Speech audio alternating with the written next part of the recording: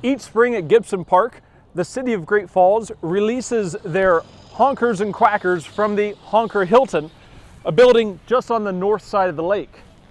Today they released them to an excited crowd of kids and families alike.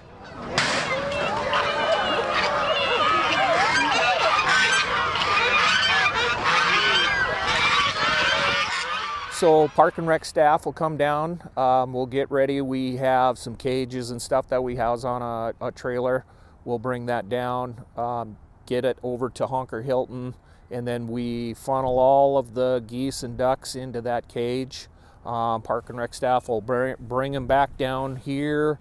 Um, we'll get it into our ramps right here on the north end, and we'll release them down into the pond, and they'll uh, go in happily with uh, the new spring coming.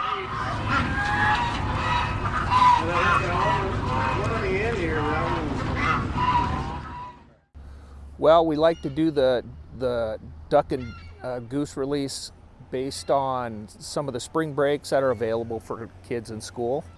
Yeah, all the ducks are happy, and like we saw a couple of ducks like far down there who were like flapping their wings and like flying around super happy.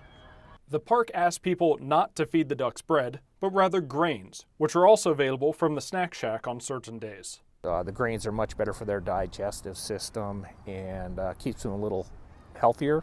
Yeah, so we provide um, some different varieties of uh, geese and ducks, and with that being domestic, um, winterization of them requires them to be kept inside more uh, because of the species and varieties. And so we house them down at uh, the north end there in Honker Hilton.